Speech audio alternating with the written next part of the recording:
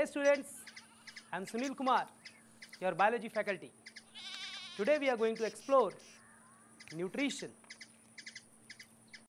Students, in this module we are going to study transportation in plants as well as in animals. First we are going to focus on certain technical terms which are very much important and it is applicable to both plants as well as animals. The first word is diffusion. What do you mean by this word diffusion? Diffusion logically means to diffuse. Something that moves from the high concentration to the low concentration. That is called as diffusion.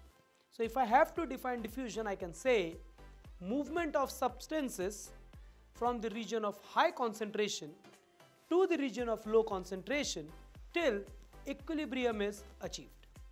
For example, if somebody sprays a perfume or a deodorant, everyone in the room comes to know that something has been sprayed.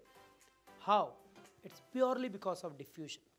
If you travel across a road and there might be a garbage at certain distance, still you can feel the smell. Why? Because of diffusion. That smell of that garbage, the place is full of that high concentration and with the help of air, it is traveling to the area of lower concentration.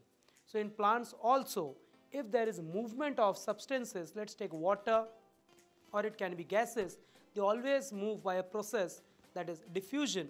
So it is from high concentration to low concentration.